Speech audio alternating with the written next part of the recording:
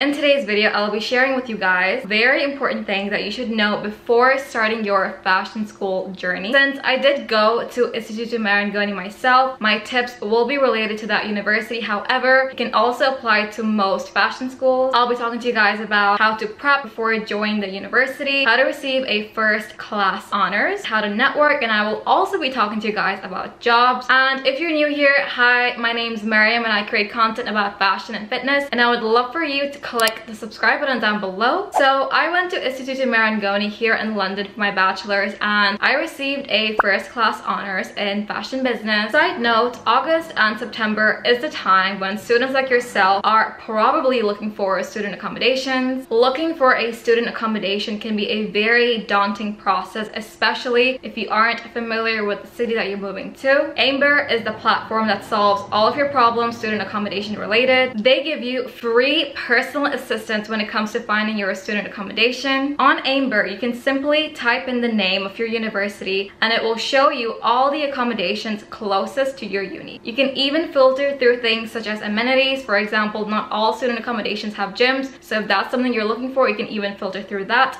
And you can also filter through the sizes of the rooms, for example, an ensuite room or a studio. Amber is currently operational in 100 plus cities in the world, including cities in Australia, multiple countries in Europe, like Germany and France and it's also in the US so it's not only operational in the UK. On their website you can find out every single thing. You can see whatever cities are operational in. It's a very easy to use platform. It works in three simple steps. You start off by choosing your student accommodation. You can filter through all the options, high budget, low budget, or even room size. And then you get your paperwork done, which by the way is fully handled by Amber, so you don't have to worry about that at all. And finally, your student accommodation will be booked and that's it. You can move in. Amber is there to help you. And when you click the link you will be taken to this page here and all you'll have to do is type in your details and then you'll receive free personal assistance when it comes to finding your student accommodation. Amber will respond to all of your queries in one hour. Do not worry amber has a student-friendly policy in which they offer students 100% free cancellations when it comes to visa-related uncertainties. Amber really is a platform I wish I had when I was looking for student accommodations. It just makes your life 10 times easier. So make sure to click the link down below in the description box, get your free consultation and find your perfect student accommodation. Thank you so much to Amber for sponsoring today's video. Here's something interesting that you guys probably are not expecting about Marangoni. The more aesthetically pleasing your reports look, the better your grade will be. And that tends to come as a shock to most people because traditionally at universities, it's just, you know, a plain black text on white paper type thing when it comes to submissions but like it's a bit different in fashion school. Of course they look at also what you actually put into the report but a big part of like what your grade is based on is how nice you make it look like in terms of aesthetics like you know what colors you use is it like consistent does it look good like does it look professional? I mean it is the fashion industry so like it should come as no surprise that you know they do place importance on appearance. So if you have zero experience when it comes to using software such as Photoshop or InDesign, it would actually be beneficial to you to, you know, sort of download the softwares and like get a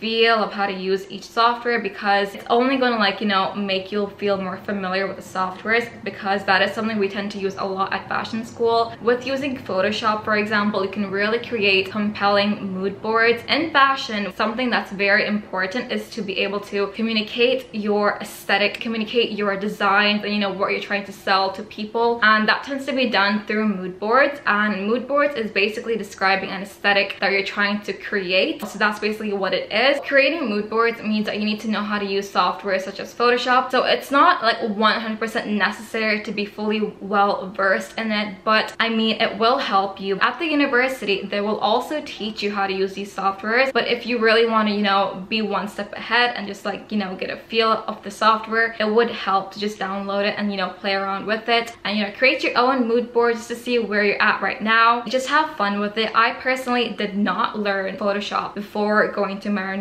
I kind of like just learned it over there. Depending on what course you do, they will teach you how to use these softwares. I know that in the fashion business course, in the fashion business and buying course, and even I think communications course, they do have a module where they teach you everything related to digital design. So don't worry, they will teach you at Marangoni, but if you were thinking of just be a little prepared and just, you know, have an idea of already how to create mood boards, it would be beneficial to learn how to use software such as Photoshop. And in terms of books and textbooks, we don't have that at Marangoni. Professors will teach you in the form of slides, so they will show you slides in class, which will later on be shared with you. And with every single course or every single module actually, professors will give you recommended reading, but it's not like an important thing to buy. I mean, it's recommended, you should, but like it's optional. If you think it's gonna help you, you should get it. But there's no set textbooks for each module or each course. It's more so, you know, buying whatever the professor recommend you to buy and etc. If I personally had to recommend any book, it would be by The Fashionary, which is the fashion business manual. It's just a nice basic book to have. It's like a nice textbook, especially if you're going to be studying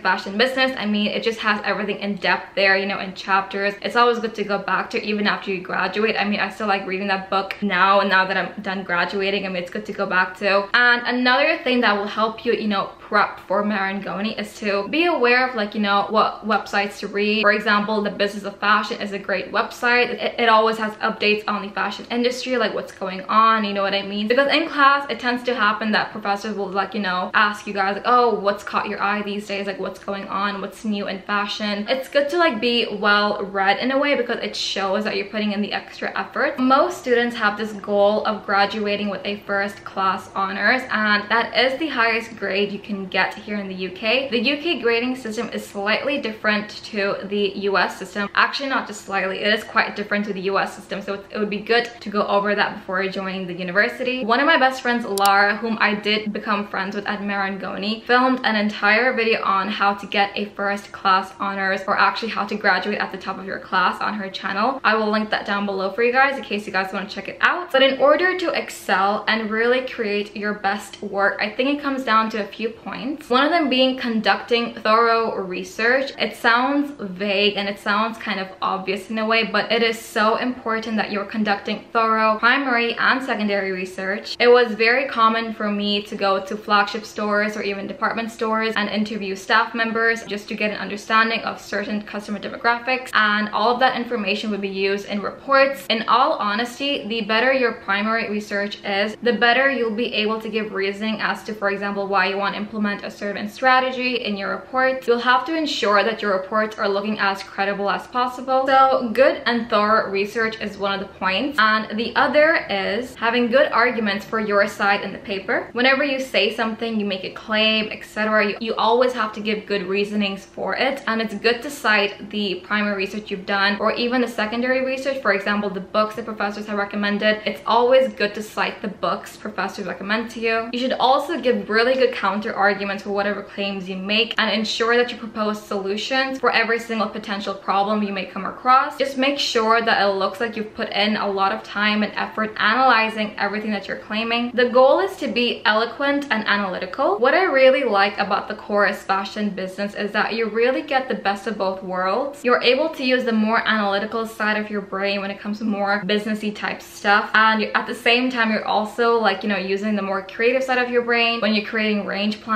or, you know, marketing plans. And the last point, the third point I want to share with you guys when it comes to, you know, getting a first class honors is something I already mentioned and it is report aesthetics. Do not underestimate how much a good aesthetic can help you. I mean, aesthetics count a lot in fashion school. The way you present something, how it's designed, how it's looking, the presentation matters a lot because the fashion industry, I mean, is visual. It is superficial in that way. So you have to keep that in mind when you're creating your reports. Even if you have the best research and your design isn't looking the best, it could impact your grades. So just keep that in mind. Aesthetics really do matter at fashion school. Ensuring I had good research, good arguments, and good aesthetics with every single report really and truly helped me get a first class honors. And I really think that I can also help you too. Now, no one really teaches us how to network because really and truly that's a skill that you learn the more you talk to new people people and the more you put yourself out there. The second you get to uni, you will hear every single teacher, every single professor placing an extreme importance on the power of networking. Everyone tells you to network. I mean, you hear it a lot. You, you get tired of it. It's okay to feel lost, confused, nervous. I mean, I was there too. And honestly, even today at some times, at some points, I also still feel a little nervous. But the best advice I can give you when it comes to networking is to simply ask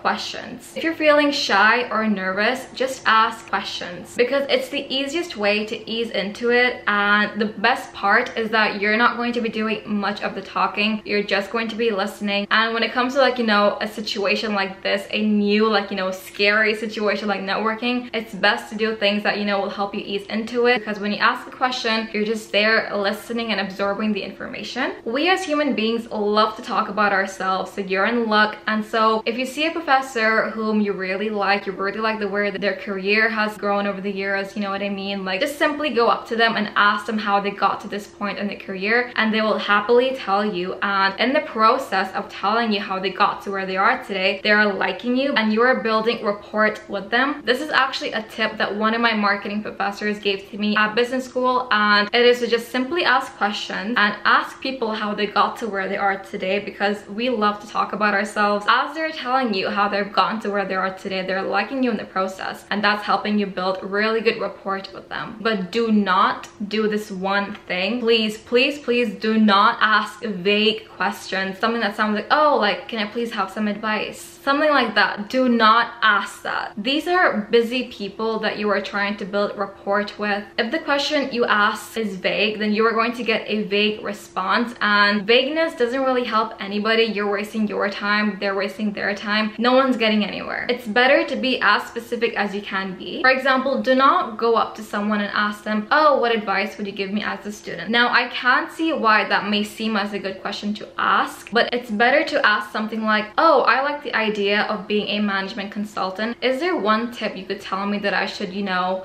cultivate before pursuing this path?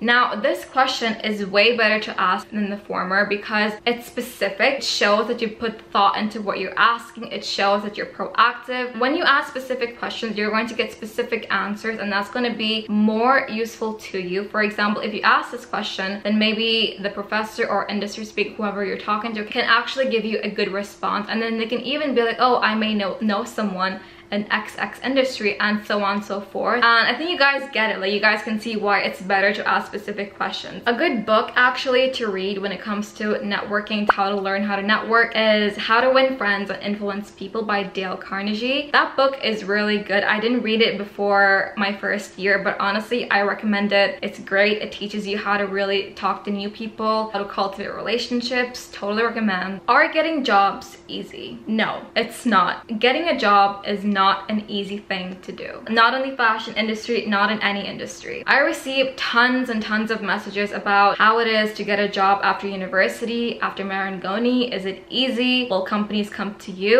And the answer is no. You have to be the one to really go out there and apply to jobs. Companies will not necessarily come to you. The short answer is it really depends on you. Companies don't come to you after graduating. You will have to be the one to really apply and go after it go after what you want. In my case, I had to rigorously apply everywhere, send out countless applications. I also did get approached by some good companies, but the main thing, like the main thing everyone does and everyone should do, and what you should do is to apply by yourself because yes, some companies may approach you here and there, like through LinkedIn and stuff, but the best thing to do is like apply by yourself and apply to jobs you want and not sit and wait for someone to approach you. You have to constantly put yourself out there there. Do not let rejection phase you. It's just part of the process. I received a lot of rejections when I was applying to jobs. I mean, it's part of the process. Everyone goes through it. Don't let it phase you. I think when it comes to jobs, what's important is to have a mindset shift. It's all about mindset because up until university, everything is sort of predictable. You sort of know what your next step is. You have your parents around you. But with jobs, it's not really a predictable space. So it's kind of easy to see. It's clear to see why most most people struggle with it because you know it's quite unpredictable. It's a scary place to be applying for jobs. So what i'm trying to say is that you really need to be in the right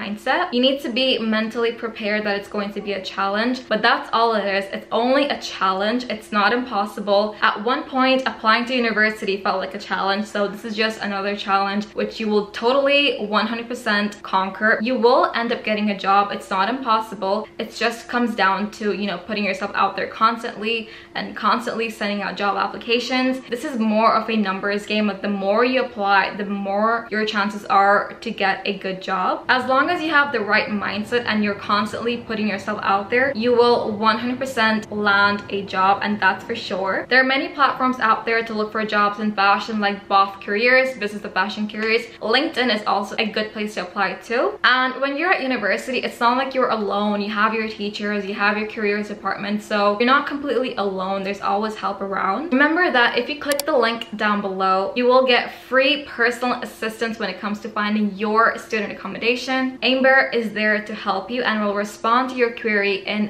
one hour. All you have to do is click the link in the description box down below. And that is all my friends. Thank you so much for watching and I'll see you guys next time. Bye!